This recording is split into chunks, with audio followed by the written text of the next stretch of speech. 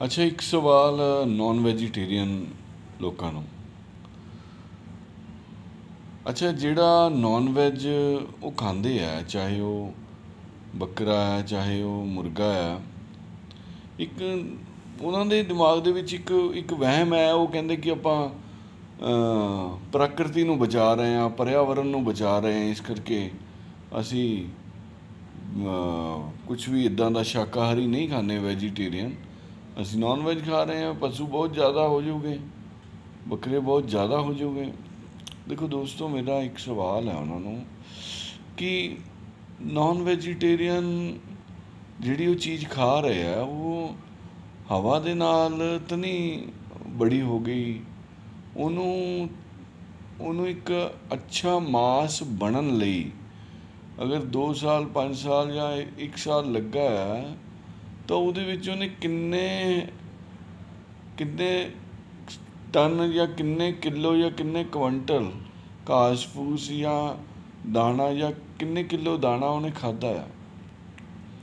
ਇਹਦਾ ਮਤਲਬ ਉਹ ਉਹ ਜਿਹੜਾ ਪ੍ਰਕਿਰਤੀ ਨੂੰ ਉਹਨੇ ਪਹਿਲਾਂ ਕਿੰਨਾ ਨਸ਼ਟ ਕੀਤਾ, ਉਸ ਤੋਂ ਬਾਅਦ ਤੁਸੀਂ ਉਹਨੂੰ ਖਾਦਾ ਹੈ ਹੁਣ ਅਸੀਂ ਨਾਨ ਵੈਜੀਟੇਰੀਅਨ ਕੀ ਕਰਦੇ ਕਿ ਅਸੀਂ ਆਪਣੀ ਸਹੂਲਤ ਲਈ ਆਪਣੇ ਆਪਣੇ ਟੇਸਟ ਲਈ, ਆਪਣੀ ਇੱਛਾ ਲਈ, ਪਹਿਲਾਂ ਤਾਂ ਜੀਵਾਂ ਨੂੰ ਆਰਟੀਫੀਸ਼ੀਅਲ ਇਨਸੈਮੀਨੇਸ਼ਨ ਜਾਂ ਕਿਸੇ ਹੋਰ ਆਰਟੀਫੀਸ਼ੀਅਲ ਕ੍ਰਿਤਰਮ ਤਰੀਕੇ ਦੇ ਨਾਲ ਅਸੀਂ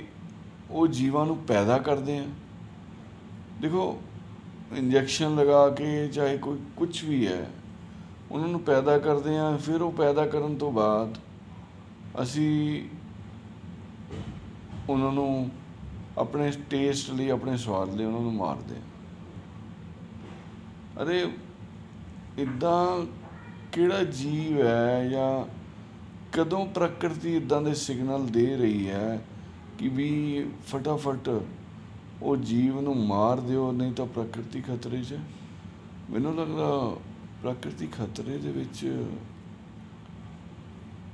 ਇੱਕੋ ਹੀ ਜੀਵ ਕਰਕੇ ਆ, ਉਹਦਾ ਨਾਮ ਹੈ ਇਨਸਾਨ। ਔਰ ਉਹਨੂੰ ਬਦਲਣ ਦੀ ਜ਼ਰੂਰਤ ਹੈ। Thank you